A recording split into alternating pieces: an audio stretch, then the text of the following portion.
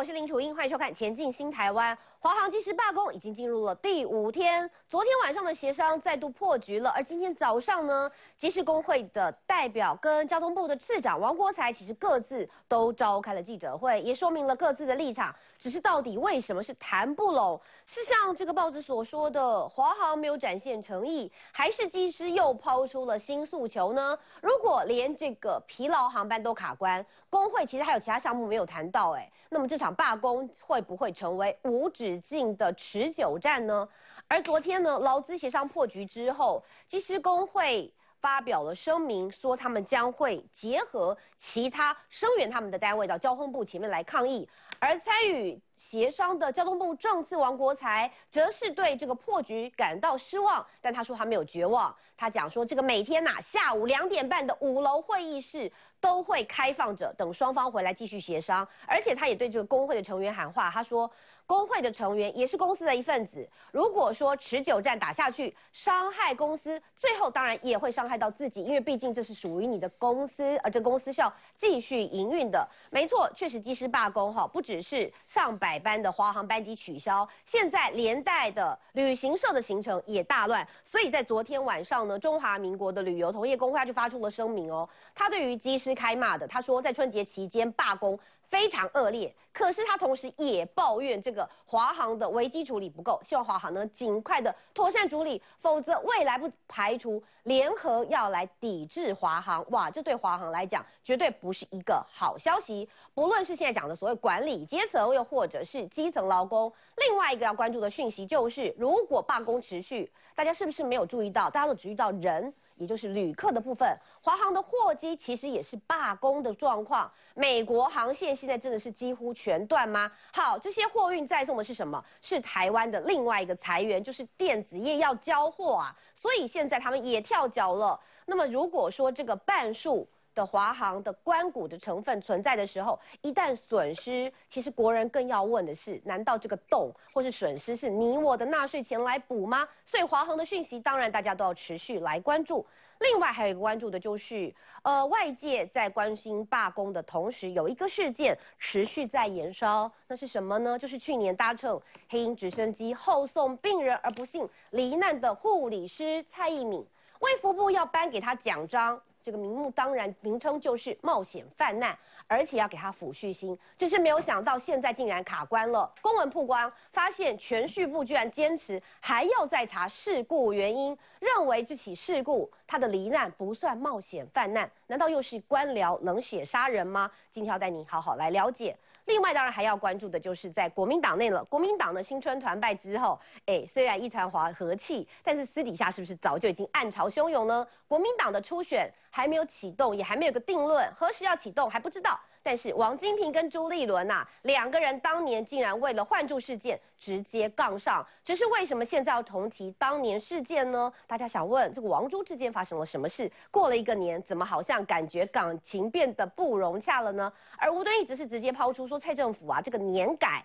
的议题过去过度刻薄，所以重返执政之后要重新检讨。这句话是不是意在支持深蓝支持呢？而国民党的天王们的天王斗是不是进入了新的篇章？我们要带你了解。而在今天有关于华航罢工的部分，我们会开放扣印，要继续来倾听观众朋友们的意见。您可以拨零二八七九二九九零四，我们要接听您的意见，带领大家一起好好来关注华航事件的发展。好，开始之前先来介绍一下今天来宾。首先欢迎的是国会观察基金会董事长。姚立明老师，大家午安。欢迎技师工会的代表石庆生石机长，大家好。欢迎资深媒体人周玉蔻，大家好。欢迎国民党文传会副主委郑世维，大家好。欢迎的是华航航务处的协理陈纯的陈学礼，各位大家好。稍后民进党立法委员王帝宇也会来到我们的现场。好，首先开始，我们先来看的就是最新的连线报道。就是劳资二度协商破局，而现在华航出面了。他说这个两度进行协商，那么到底现在整个现场如何？我们带您来看最新的现场。所以当然在尽快恢复执行之下呢，公司希望明天就是今天啊，昨天在谈嘛，就希望今天的所有航班能够恢复正常。呃，但是呃，各位媒体同业也知道。机师工会呢收了机师同仁的检定证，啊，所以机师工会要求要在宣布罢工结束那个时间点二十四小时之后呢，才能恢复执勤。好，那这个部分呢，啊，公司基于善意，就非常非常的大方，好，就同意了，在机师工会的要求，给他们二十四小时的时间去收回发还检地证，让机师们呢回到执勤时间，然后呢还试出另外善意，就是。宣布停止罢工的那一刻，我们就恢复了几薪跟所有的福利哈。我想在还没有进入五条讨论的议题之前，华航就施出了极大的善意。那接着进行，我们开始第一条讨论，在派遣的飞时上面呢，华航其实也做了非常大一个让步空间呢，但是却焦灼不前。那这个部分呢，真的让华航感到非常的失望。至于这个细节的部分呢，我就交给我们的基正力基经理啊来回答，谢谢。呃，各位媒体呃朋友，大家好，各位辛苦了。呃呃，诚如各位都所知道的，在二月九号我们的第一次协商，我们花了极长的时间讨论，终于把两兆啊的单位 FDP 跟 FT 两个这部分定调为 FT。唯一呃达成共识的部分是飞航呃 FT 的时间只要超过十二小时，我们就是四人派遣。那唯一争执的两个部分，一个是七人派遣，公司公司方主张是八人，呃八小时三人，工会呢要求是要七小时就要八人。还有货机的部分，在美国国内线的货机。他一律要求要三人派遣，这个部分呢是我们没有办法达到共识的部分。那这些议题呢就挪到了昨天下午来协商。一开始呢协商我们是以这个前一次的会议的所谈定的部分聚焦的部分再来进一步的讨论。那这时呢技师工会就提出来了，他希望有所谓的一个。FDP 多航段这两个议题，这又把我们拉回了在二月九号的议题。它的主轴呢，也就是希望单一航段 FT 八小时三人派遣，他同意单航段十二小时四人派遣，他同意单航段，但是多航段的时候，他必须要回到 FDP。是八小时三人派遣，FDP 十一小时要四人派遣，这个跟我们前一次好不容易拉回来 FT 的单位来讨论，又拉回到原点，所以就在呃交通部以及公司这边呃不断的劝说，接下来他们又提出来同意回到 FT，但是还是一样。多航段七小时，他要三人派遣；多航段十二十二小时、十一小时，他还是要四人派遣。再接下来，他最后同意再调整，多航段七小时还是要三人派遣，但是呢，多航段十二小时他是没有再提了。但是国内线，美国国内线的货运的部分，他要求的还是四小时以下要三人派遣。在公司这一边呢，我们不断的调整的是，前一次我们同意，只要是 FT 在六到八小时中间，我们愿意逐班来讨论。如果你觉得这一班特别的累，特别的辛苦。或者在机场设备上有什么样的一个问题，我们公司愿意逐班来讨论。但是工会在一开始提出的议题，我们没没有办法接受。接下来董事长、总经理他施出最大的善意，同意七到八小时的夜间红眼航班，愿意三人派遣。但是公司工会还是没有同意。我们不是没有对应方案，公司在协商当中绝对不会拉一个非常远的一个目标，我的要的东西去跟你协商。公司公司就是希望能和平落幕，尽早让整个社会回归到安安宁的情况。所以我们一开一开始就是用我们。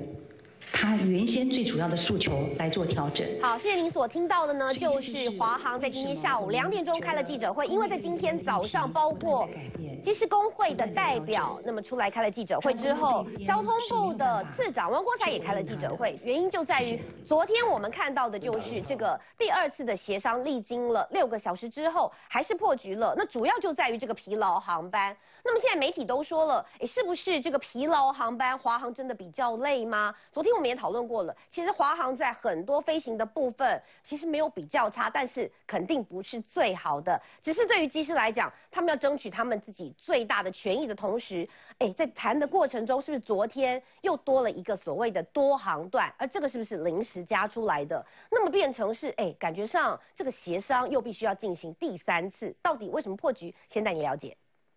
因为昨天的这个呃协商的时间呢，协商的比较晚。那李信理事长呢，今天呃他可能赶不到我们现场。广播节目主持人黄伟汉唱空城，只能打电话扣奥，因为机师工会理事长李信燕临时缺席，全因前一晚劳资双方开太晚。现在为什么坚持第一个七个小时？现在我们觉得我们退退退退到这个时候，那这个是。真的是有疲倦的因素在里面啊！你不是告诉我说我一个月工作只有几十个小时，你为什么会跟我说你人不够？他跟我说人会不够，公司会倒闭哦！坚持下去，坚持下去，小时的协商，在第一个诉求疲劳航班就卡关。工会原本主张超过七小时航班就应派遣三个机师，但华航不同意。工会二次协商再退让，飞时逾七小时两段航班派三人，华航坚持需符合三航段。航段认知落差让劳资双方协商再度破局。以台北飞曼谷为例，一个航段三点五个小时来说，原地来回也要三点五小时，但到了当地还要清仓和加油一小时。工会。计算执勤时间应该是七加一小时，得派三机师，但华航可不这么算，认为飞行时间只有七小时，不符合派遣三名机师规定，也非三航段航班，双方无共识。我的失望是说，昨天因应他们所提的，我们提出了对案，但这个红眼班次完全没有讨论，一直是我们在退，各位。这样的情况之下，是一个已经罢工了第五天的团体应该要做的事情吗？强调全为了安全，工会上午再次现身，二次协商再破局。交通部表态失望，旅行社更是发声明谴责罢工，并请华航出面说清楚如何善后。整理新闻林良宪吴雅婷台北报道。好，我们来看一下这个所谓讲到疲劳的时候是。大概全民最有共识的部分就是要安全。只是安全讲到疲劳的时候，很多人都想问说：，哎，疲劳的定义其实真的你我就不一样了。电视机前的观众跟现场的来宾，可能大家对疲劳定义就不一样。所以我们要来看一看国际的标准是什么。哈，其实这几天大家都一直在讨论这个所谓两人啦、三人啦、四人啦，哈，那到底怎么样算？大家都说哇，好多专业术语。我们来看，两人派遣华航是要高于九小时，这是原定的。如果是三人派遣，飞行时间要。呃，大于十二小时，那么呃，飞行时间要含睡眠时间的话是大于十三小时。那么这个部分其实这个是华航的部分。那四个人派遣的话是飞行时间大于十二个小时，那么是座椅休息设备。飞行设备如果有睡眠设备是十七小时。如果来看的话，美国、日本、中国、欧盟。好，这边是八八，当然就是比较少一点，但是十二的有八小时的，那么欧盟是九到十三小时的。如果三人派遣的话，你看十三、十六、十三、十四到十六。我的意思是，其实如果要来看，就像我说的，华航的状况不是是最糟，但是姚老师你来看一下，就是为什么到昨天协商还是出现卡关或破局？难道说这些专业的东西没有办法用国际的标准大家拿出来吗？这个就这个就像各国的劳工条件一样的劳基法。有定最低的薪资也好，或者叫基本工资也好，可是每家公司的工会，他可以跟雇主透过各种协商、团体协约，来要求到一些好的条件，嗯，让他自己工作的不管待遇、工时、其他的福利，能够达到一定的标准，或者他自己的要求。所以，我想观众朋友们，第一个应该要先很清楚的知道。这个听到罢工两个字啊，虽然我们在台湾非常少见啊，因为这是威权体制以后，台湾进入民主化国家以后，还没有进入到我们真正的这个所谓呃宪法所保障的这段概念，嗯，所以罢工并不常见。可是，在先进民主国家，其实罢工是一个常见的事情。我们不要听到罢工就想到有人做坏事，说是因为有些人不方便了，搭航班不方便。我想这是难免的啊。那呃，更何况世界各国在航空公司罢工。任何一个罢工，他有工时，他有待遇，他有任何理由，甚至于为了不当的遣散，工会都可以为了一个人、两个人不当的遣散，他都可以全体来罢工，来要求公司来解决这样子的问题啊。嗯。更何况这次的工会的要求是疲劳，而疲劳的定义，刚就像刚才主持人所说的，它非常细节化。嗯。我作为一个第三者，我没有办法今天。断定是非，这本来就不是一个是非题。说你要求的叫是，别人的拒绝叫非。嗯，这个不是如此，它是一个八个宁的构成，它是一个谈谈判，退一步进一步。今天工会觉得说，今天就好像我举例来讲，刚才航空公司代表在你们的影片中间提到，FTFDB 那个那个，我先要问一句，今天从。聚焦在 FT 上面来讲，嗯，那究竟算不算工会的让步呢？因为本来有 FT，FT 的定义的问题跟主轴的问题，我本来计算就要用 FTP，嗯，可是我今天愿意用 FT，好，你们说要 FT 来算，那算不算工会的让步？这就变成一个很有趣的问题了嘛。是。那如果算让步，那华航在计算上是不是也要稍微要让一点步？这是一个观念嘛？对，就是。有人让我谈判的时候，其实就是有一些计较，你进一步，我退一步，我退一步，你进一步嘛。就像现在已经卡在多航段，多航段原来本来就是用又又用 FT 来算，当然当然，呃，工会就有一些想法，因为原来他们认为的多航段可能是用 FTP 来算的，那当然就同意八小时、十二小时一起来算。可是这样子的概念，呃，交通部提出来逐段。逐航班来检讨，其实我并不反对，嗯，哦，可是好像没有进入到细节，对，好像没进入到细节，因为工会可能认为，你一条一条的来讨论，那易于湖底，那这一点就算一个一个条讨论，是不是先提一个一条一条讨论的全体方案，由资方来提，因为资方非常清楚哪个条是七点五小时，哪一条六点五小时，哪一条刚好八小时，嗯，这个也许。呃，要工会来提是啊，强人所难的。总而言之，我觉得现在的谈判呢，是一个很正常的罢工谈判过程。我知道会焦灼，嗯，我也觉得社会不要给任何一方压力，嗯，哦，我知道交通部有压力，理由很简单，因为像我们的节目如果谈起，其实对做交通部来讲，这件事情就是对他来讲是一个政治事件，啊，资方可能可以处理。说我今天航班用其他的航师，啊，技师来调度我等等等等。是。可是对交通部来讲，这种事情没有落幕，社会就会讨论，社会就有正负的评价，社会就有压力。嗯。这对他来讲，政治上是一个不可承受的重。所以从这个角度上来讲，他当然非常希望双方尽量多一点妥协，多一点让步。可是呢，在疲劳的概念上，我个人，嗯，我个人是希望，我非常希望疲劳就叫安全。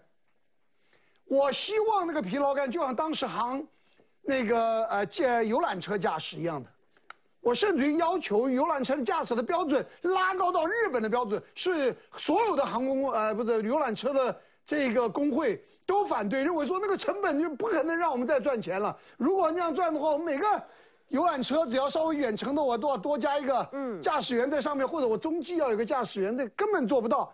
华航现在也用成本，所以我还是希望华航啊。交通部能够跟华航多商量，在成本的计算上，是不是也有时间的考虑？我也希望工会呢，如果说今天要增加的人力，不管九十个人，左九十九百多个人次，呃，多少个人力，那是不是给予一段时间的空间，让华航有一段时间的考量？除了成本之外，因为我成本在安全前，我认为当然是次要的。从这个角度上来看，我当然。还是希望双方能够尽其可能的智慧提出好的方案来，让这个罢工能落落幕。可是我一定要跟观众朋友们再说一次，罢工本身是任何一个劳工争取权利的最后手段。那我们应该静观其变，不要给任何一个压力。好，但是我们不给他压力，但是我们要听他们把话讲清楚哈。比如像今天早上呢，其实我们看到工会代表说，我们其实是退无可退了。可是如果刚刚这个华航出来，又会觉得说，其实我们也在配合，所以表示两者之间就是没有交集。来，我想天机其实来讲，因为像现在呢，你们是要到交通部来静坐抗议，可是呢。是不是能够持续的用谈下去的方法比较好？听到这里，你们会觉得说，哎，你们的诉求真的还是没有被管理阶层或者所谓的资方听到吗？我个人是很乐观哦，你因为刚刚姚老师讲的，我完全认同。他首先阐述了罢工的意义，在台湾整个公运的进步哈，嗯，要想一百年前啊，女性连投票权都没有，所以当五十年前有人说女性也应该投票的时候。大家当然跳出来反对嘛，嗯，就像华航这次罢工变成社会的焦点，那诚如那个姚教姚老师说的哈，大家要比较健康的心态来看这件事。那我个人在技师工会担任会员代表，我们经过罢工投票，会员代表大会通过执行罢工决议。那基本上工会是一个民主的组织哈，按工会法成立，所有的决策都是所有的会员或会员代表。投票通过，多数议决。所有的疲劳航班，所有的议题，不包含不包括这个议题，都是所有的会员经过收集、讨论、投票，我们才提出诉诉求。就像主持呃，就像主持人楚英说的哈，我们不是最好，也不是最差，但是大家不要忘了一点，呃，每个国家每个公司有不一样的情况。我举个例子哈，中东的航空公司，呃的标准可以适用台湾吗？这很有趣啊。因为他们有些比我们好，有些比我们差，但是要考量一点，因为中东的航班呢，不是往东飞就是往西飞，所以它的起飞时间大部分都会落到半夜。我我我要说的就是说，好比说我们今天争执的台北曼谷，这只是一个例子哈。嗯。以工会的立场，我们当然希望公司，呃，能够优于劳基法，优于 AOR，优于，其实不能这样想哦，因为那个法律是最低的限度，好比说法律是最低的，我们根本是不能违法处罚的。那我们在派遣上，呃，如果说公司都合法用这种观念来派遣，嗯，哦，就搪塞或者是说，呃，以人力成本，哦，我我我可以说问，因为真陈协理也在嘛，嗯，我们都收集公司发给员工所有的信函哦，罢工第三天航班派遣率百分之九十一，哦，那六百名机师检定证在工会手上，但是公司一样兼顾到旅客的权益，嗯，好，没有人受影响，那现在听起来华航准备的很好嘛？那我们也替华航觉得很开心，因为公司这次真的有为罢工做准备，而且啊，也心态也许比较健康一点。那，但是事实真的是这样子吗？哦，公司宁愿让公司飞机摆下来，公司说很努力输赢旅客，但是公司宁愿让飞机摆下来，也不愿意在像这个所谓的疲劳航班上，甚至我可以跟各位说，其实其实根本不加增加成本的。哦，我随便举一个例子来说哈，我告诉各位，因为。我们今天因为有手上有罢工权，才有一点这么机会啊，跟公司的资方，或者是资方的委托代表、管理阶层，来讨论像这样的问题。嗯，其实我个人，呃，愿意来参加像这样的扣印或者是 live 节目，那是因为我相信我们机师的声音能够在第一个时间让大家听到。我随便举一个例子就可以告诉你，华航在意的并不是所谓的成本问题。嗯，像我上个礼拜执行的一班到美国的飞行。那飞去的飞时是十一个多小时，那按照合法的派遣，我们只要派三个人。但是如果你了解的话，飞行啊，飞到美东十一个小时，代表什么？代表回来要飞十四个小时。所以公司呢，就按照所谓的法规啊，所谓的派遣原则，派了三个机师去美东，那做了最低的休时三十个小时后呢，立刻派回来。那因为回来要十四个小时，所以按规定必须派遣四名。四位。那我跟各位分析这个成本哈，这个机师不会凭空在美工美东出现哈，增加了这名机师会搭我们的飞机，按公司的规定，呃，占用一个商务舱，到美国之后落地休息，再跟我们一起打回来。嗯。那最近的航班非常的繁忙哦，公司占用了一个商务舱之后啊，其实这个商务舱我不知道公司卖多少钱啊，我想五万八万十万是跑不掉。那然而公司要付给所谓的人力成本哦，增加这个航段呢。事实上是几千块而已，因为因为我们在计算飞时的计酬的时候，呃，所谓的 ACM 就是增加人力这部分，他搭飞机去执勤，公司只有算他一半的薪水，那更我讲的更明一点，事实上他一毛都没有。如果像公司人力派遣充足的情况之下，公司是不需要任何成本，但是公司为了坚持人力的问题，他他可以牺牲掉一个商务舱的位置，但是他就是要坚持。好，所以我们听到机师的想法是，如果就像我们刚刚其实开场讲的哈，这个其实开始有旅游业也觉得他们受到影响，电子业呢也要跳脚了，因为他们交货受到影响。但华航这里呢讲到的是说，在这里要改善红眼航班，那么在人力派遣卡关的原因尤尤其是多航点，是因为成本的问题。哎，两造是不是其实说法跟想法上面其实就有落差了呢？我们先休息一下，广告回来带您再来了解。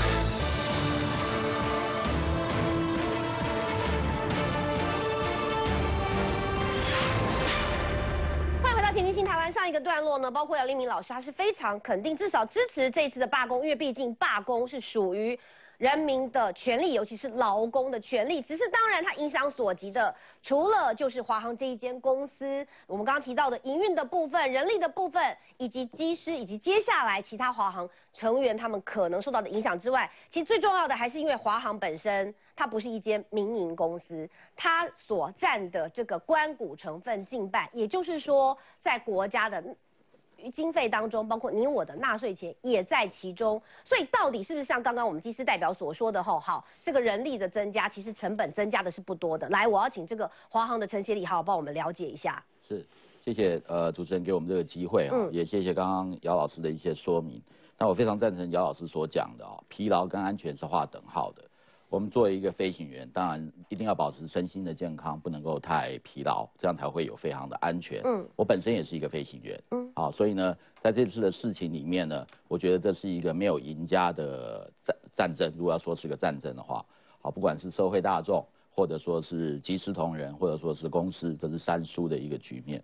那呃，那刚好这几次的协商，我也都有刚好有参与，嗯，所以我比较能够了解这个状况。像刚刚呃，庆生也提到，他说呃，飞一个美国的航班，那去的时候是三个人，回来是四个人。那他也提到回来的时间大概十四个多小时，派四个人。那如果我们看规定的话，啊，不管是刚刚那个主持人所所所在荧幕上所表现出来的那个规定啊，应该是只需要三个人就可以了。嗯。但是我们公司派了四个人，好，所以呢，其实我们目前的派遣方式其实已经优于法令。我们的法令其实很多都是参考美国 FAA 的，我们叫 AOR。那其实呢，像这个情况，我们已经优于法令了。嗯，也就是说，我们目前的派遣原则，我们绝对不会拿法令当做我们的标准。好，法令永远都是最低标。好，那很多地方呢，法令的设计它也不会是无的放矢、随便喊价的一个设计。有的时候，这个设计的出来，它也会经过了一些研究。那我们公司呢，在这个研究。的情况之下，还有再更好一些，所以今天才会有所谓的三个人飞去美国，四个人飞回来的情况。是好，那我要还原一下这两次我们呃罢工以后的这两次的那个谈判的现场。那昨天提出了一个多航航段的问题哦，嗯，那其实这个问题呢，在第一次啊讲的是说，我们当天的来回班如果飞行时间超过八小时，希望以三人派遣。好，那如果是超过十二小时的航班，希望以四人派遣。那这又是一个远远优于法令的情况，当然也优于我们目前的派遣原则。好，那呃讲的是当天来回班，当天来回班就表示飞去再飞回来，以曼谷为例嘛，对，飞去曼谷再飞回来，那这就是所谓的多航段。嗯，那当昨天抛出一个多航段的议题的时候，我们很好奇，不是我们已经呃聚焦了吗？那为什么会又变成一个多航段？啊呃，主持人刚刚也提到 FDP 跟 FT，好，那我们的飞飞行人员的时间的计算是非常复杂的，有所谓的 FT，就是所谓的飞行执勤时间，有所谓的 FDP，嗯，啊，就是啊，刚刚讲的是飞行时间，FDP 是飞行执勤时间，那还有所谓的呃真正的飞行时间是。那飞行时间就从起没有从起飞到降落，还没包含在地上的滑行时间。哦，那所谓的飞 FT，所以它其实非常的复杂，所以很多的民众其实不了解，只想问说，像这样子提出来的时候，呃，原本说聚焦，后来又没聚焦了，所以现在这两次到底有没有聚焦的可能？是。而第三次有没有可能谈得成？呃，我们从去年八月份谈的时候，其实工会那时候丢的是另外一个单位，那个单位就我刚刚讲的实际飞行时间，那那个其实是最严苛的，是。好，比 FT 还要严苛。如果你以 FDP 来讲是宽松的话，那到了去年十二月协商的时候呢，他们丢出了第一次丢出了 FDP 这个观念。嗯。啊，那我们那时候其实就非常的疑惑哦。本来讲的是一个呃实际飞行时间，好，最后怎么丢出一个 FDP？那 FDP 到底是什么概念？我想说，跟借这个机会啊，跟让我跟各位观众报告一下。我们如果以 FDP 来算的话，也就是说台北两个小时多一点以外的航程，全部都要三个人来来回。嗯，那应该是没有一个航空公司能够负担得起这样的做法。哦，那就除了香港，以台湾来说，台湾飞出去的航班，台北飞出去，大概除了香港、上海或者是琉球这些点以外的话，通通都要三个人来飞行。我相信没有一个航空公司能够是用这样子的方式来营运啊。嗯。那所以呢，我们希望就是说，公司释出善意，所以我们才提出了一个飞时好飞行时间。那飞行时间比我刚刚讲的实际飞行时间又加了地上滑行的时间。地上滑行时间有的时候是非常长的，好，因为在地上的时间，因为机场有的时候有一些繁忙，还要微停，要等待。是是是是，所以我们现在用这个方式提出来了。那呃，结果后来在第一次的协商里面，他们也同意了这个用 FT 来算。嗯。只是最后就丢。丢出了一个七个小时的这个这个题目哈，这个数字。那呃，工会有五大诉求。那我们也知道，工会运动在台湾是越来越蓬勃发展的。啊，其实呢，就像是呃有国会监督政府一样哈。其实这个如果说是一个良性的发展是非常好的。是。可是以这次工会的五个诉求，我们谈了两次，都着眼在第一个诉求。嗯。其他的都没有谈下去。在第一次的谈呃协商到最后，他突然丢出一个七小时的议题。那其实站在公司的立场，我们一开始他的诉求就是三人八小时，啊，不，对不起，啊，八小时三人，然后十二小时四人，对。那我们也已经接受了，嗯。那我们接受了以后，结果在第一次会议的最后面，他突然说要七小时，嗯。那当然我们就非常的错愕，所以这是为什么第一次，呃，协商到最后没有办法有一个圆满结果的原因。那好了，到我们第二次协商的时候，我们公司呢又再次的示出了善意，就是说以红眼航班，我们愿意降到七小时就派三个人。那结果呢，工呃工会那边提出了一个多航段，那这个地方有一点点误解啊。那因为我们也非常的错愕，所以我们才请教了工会的同仁，请问了一下他们工会的那些代表，嗯，多航段到底是什么意思？呃，所以就出现了像曼谷航班这样子的例子吗？啊，不是，因为多航段其实他们是回到原点，只是换了一个方式来表述。两个航段就算是多航段，好，就是两个落地了。两个落地。那第一天讲的就是当天来回，当天来回的，那也是两个落地。好，所以为什么我要打断这个陈协理呢？主要就是说，我们必须讲飞行是非常专业的。所以说，这也是为什么飞行很昂贵，包括机师的呃所谓待遇也相对的好。所以很多观众朋友其实都没有办法很了解的听得懂，就是像这些排班啊、航段啊，甚至于出现的所谓什么 FDP 呀、FFT 呀等等的，这个如果没有上字幕，各位观众朋友可能都都听不但是委员，我想问的是，现在整个的协商到第二次的时候，其实大家想问的是。它一定会影响到部分的人，尤其是他如果必须要搭飞机的人，他要旅行的人。大家只想问，这样听起来之后，双方有没有可能会落幕？这个发展其实是，我我今天刚好在付出一群人来哈，一般民众就算不搭飞机都觉得很愤怒。哦，啊，那个愤怒的情绪哈，倒没有特别的理由，也不是说针对华航的资方或针对工会，就觉得这个事情不应该这样子发展下去。到底谁在主脑解决？嗯，所以，我我我现在都不评论任何事情，我只要求一件事情：现在为什么不直播？谈判就直播嘛。我看到资方说可以直播啊，我昨天听工会代表说也可以直播啊。对，就直播。昨天晚上让大家看清楚，他们想直播的。你直，除非双方已经要达成一个默契了，你不直播我尊重，因为有的谈判不见得是透明的，大家接受；有的谈判真的不是透明的。嗯。可是这个谈判到现在，大家不耐烦到什么程度呢？到底谁在变来变去？不过直播应该也看不出来，呃，谁在？如果几次直播之后哈，我相信直播的过程有专家我们台湾民间专家很多了，对，记录。我们民间民间的飞行员也有了。我虽然不是飞行的，我以前在空军也空勤的，一大堆飞行的朋友。对，他们他们的 E C L 都我在教的。其实我我们记者里面就有人对你把它直播之后，我们现在就有记者对啊，是你们你们有主播也是空姐出身的啊。是，我现在意思说为什么直播，你知道吗？你一直播，谁在变来变去？是谁真的在一再退让？很清楚。对，社会力就知道应该放哪里。这一次跟上次空服员不一样，这一次你有没有发现社会上没有一股脑的全部压在支持工会罢工？原因就是资讯不透明，有专业性不了解，还有各说各话，但谁说真的假的？这第一个，第二个，这件事情伤害到了多少人？有人到今天还在问说，明天会可不可以？我要怎么办？然后。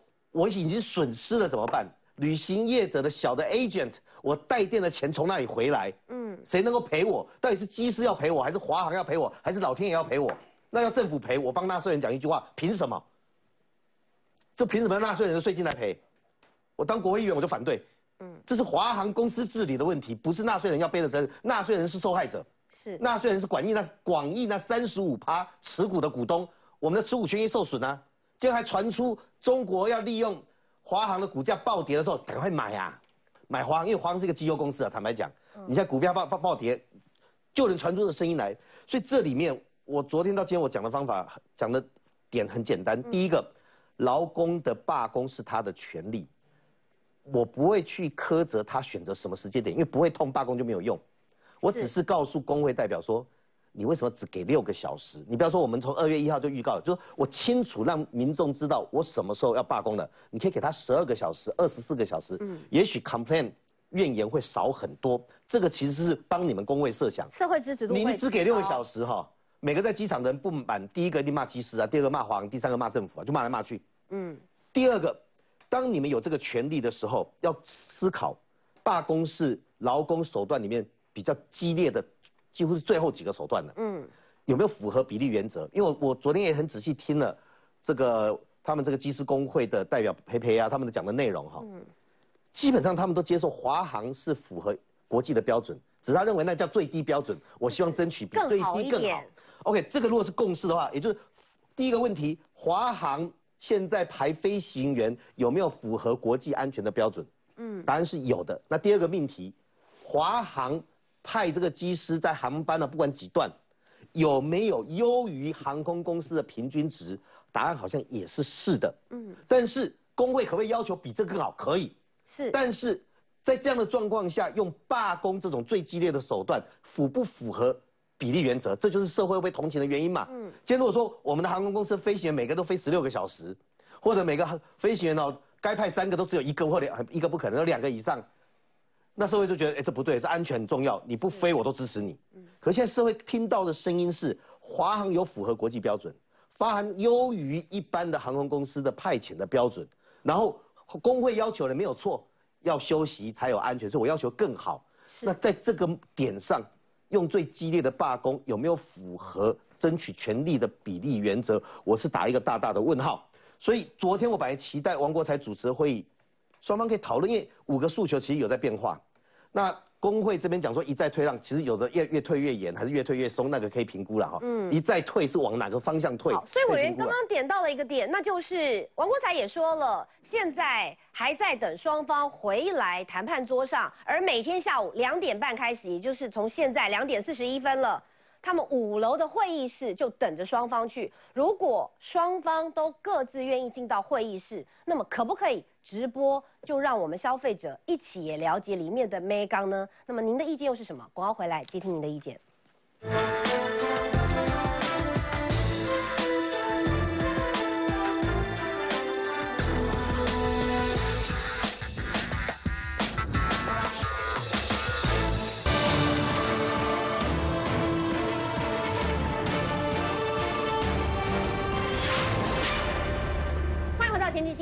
这一次，当然机师利用春节的时候罢工，引发了大家广泛的关注。当然，因为也是新闻，真的闹得蛮大的。但是持续延烧到第五天的时候，观众朋友，您又是怎么看的呢？很多人说，其实网络上现在哈是五五坡，有支持也有反对，而您的意见又是什么呢？我们来接听高雄林先生，你好。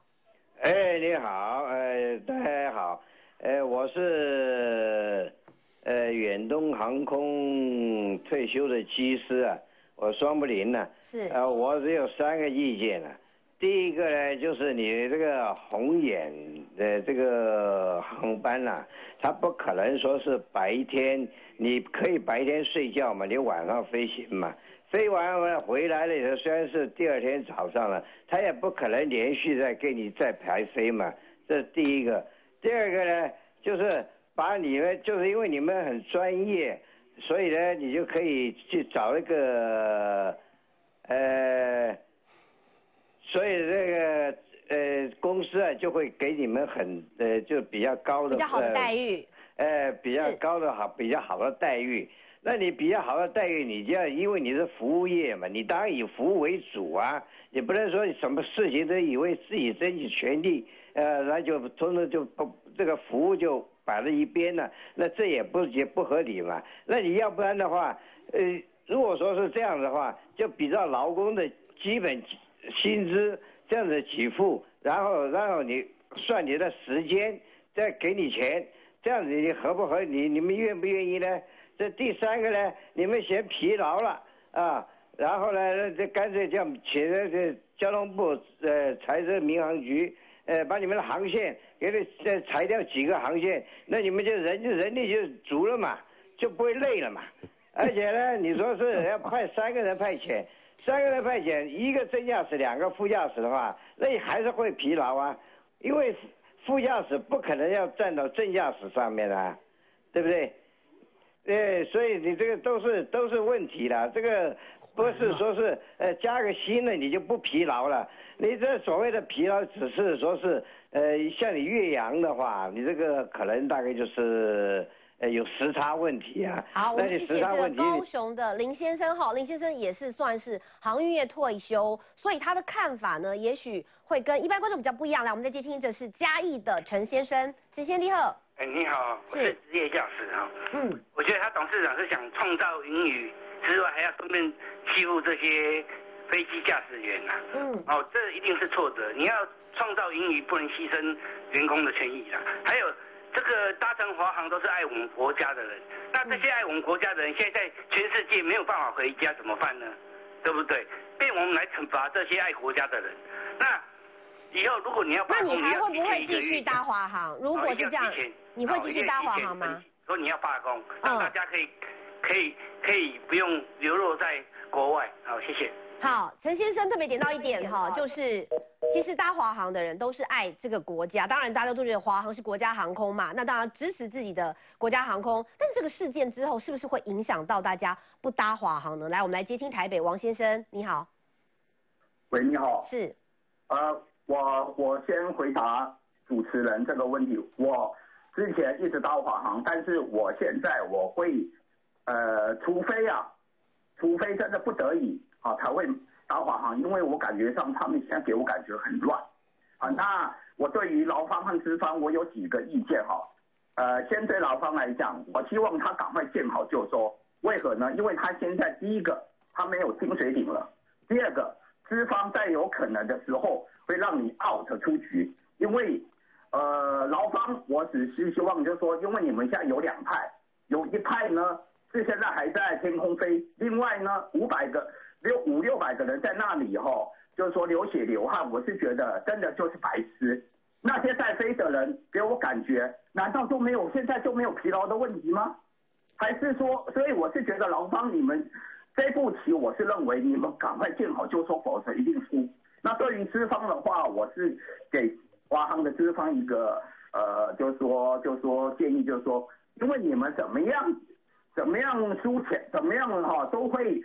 你们的这高层都会在问，因为亏损了几百亿啊，我们老百姓还是替你付钱，所以我我是觉得资方哦，你不用不用害怕。那第二个呢，我是觉得说，如果劳劳 方还是对你就说一直变来变去，我认为你就干脆采取我这个方法，你就尽量拖，用变相的，最后呢把这个资那个罢工的人全部 out。王先生，你是讲反话，还是你真的很认真这么认为？因为这都是大家纳税的钱呢。其实我们当然也可以说，其实这一次罢工哈，就是有人讲，其实没有所谓的资方哎，因为资方也就是这些被来这边找做的管理阶层。其实某种程度，我们才是真正的资方，因为我们是纳税人的钱呢。那你的钱愿意这样花吗？为什么呢？因为华航呢是一个非常复杂的一个公司，它既有官股又有民股，那没办法，因为执政党他们有那种虚荣心，他不可能把华航废掉了。所以呢，我只希望资方呢，你现在你不用怕。你纵使亏损了几百亿，你的薪水是道理。我是随意劳方，你不要再变来变去了。你最后到最后没有薪水领的时候，因为几百个人、几千个人一直在等你这个位置。好，我们来谢谢这个台北的王先生在接听新北的廖太太。来，廖太太你好。呃，大家好，我有三点要报告。第一点呢，虽安，难道他机师那些组员他也赞成会掉下来吗？他不保保全他自己的生命吗？整天在讲飞安，我赞成哦，政府哈把华航哦回归给民营，看他敢不敢出来抗争。哪有一家公司这样子啊？去年是空服员，今年是机师，明年怎么样？变成那些地勤人员也出来抗争吗？那这还成什么公司啊？那华航没赚钱的时候，他们又喊着要要奖金，那怎么办？那这公司要怎么办？干脆改给民营，看他敢不敢长荣，他敢不敢出来抗争？这就是太可恶了，不把人民的权益放在心里。那那些人民搭你防华航是怎么样？我出国从来不搭华航，自从他空服那个抗争以后，我从来不搭。我搭日本航空，我为什么要打你们呢？你们这样整天在抗新北的廖太太，好，廖太太其实公开给了我回启啊，我下面就是。其实，在这个过程当中，大家思考到的一个点就是，华航毕竟还是有关股的成分在里头。那么在这里头的时候，就是你我纳税人投进去了，所以大家也会觉得说，哎，我们支持华航，就等于是支持国家航空。但是事实演变到这里的时候，哎，很多人想了，接下来春节过后，哎，樱花要赏樱花了，很多人想说，哦，那我接下来的旅行，我还要不要？来搭华航呢？而华航是不是干脆民营化比较好？因为还有体质的问题哦。好几个观众都这样说，所以到底华航接下来的下一步，如果真的是这样，大家都没信心的时候，亏损又要国家的钱来贴补的时候，干脆民营化是不是一个好方向？休息一下，广告回来更多讨论。